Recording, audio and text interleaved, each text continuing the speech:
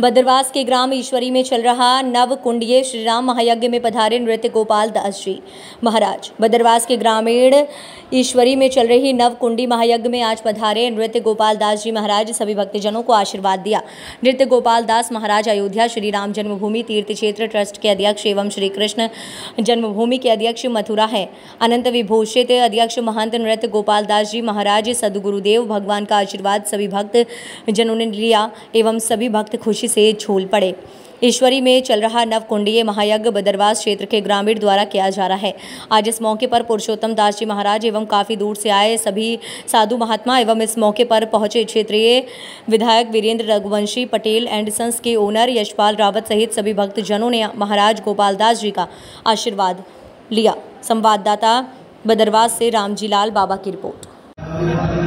बड़ा यज्ञ चल रहा है और आज तो बहुत बड़े संत यहाँ पे आए हुए जो अंतर्राष्ट्रीय लेवल हैं। उनका यहाँ आने का मुख्य उद्देश्य क्या है?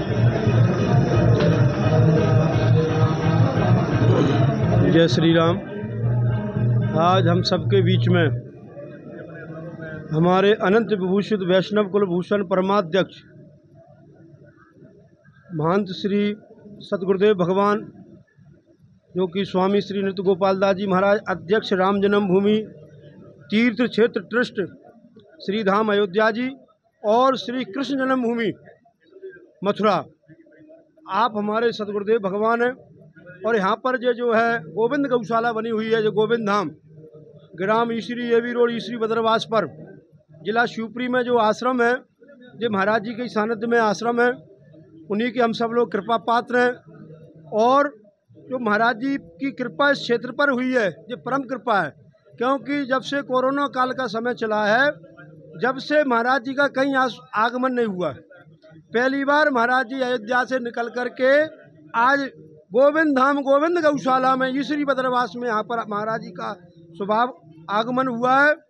तो ये हम हम हम पर और क्षेत्रवासियों पर और पूरे प्रदेशवासियों पर, पूरे देशवासियों पर कृपा करके महाराज जी ने बड़ा आशीर्वाद हम सबको दिया है। यहाँ पर दर्शन दे करके हम सब लोग सौभाग्यशाली हैं।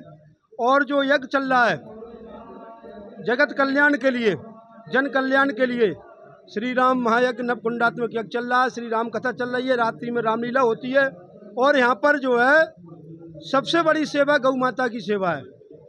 आज 2012 से निरंतर यहाँ पर गौ सेवा चल रही है, और हमें लगता है आप लोग लोकल के हो, आप लोगों को भी जानकारी नहीं होगी। आप कभी कभी जब उत्सव होता है जब आन, आ, वो आता है क्योंकि यहाँ पर जो है प्रचार कम होता है काम ज़्यादा किया जाता है। और वो आप सब लोगों के सामने है।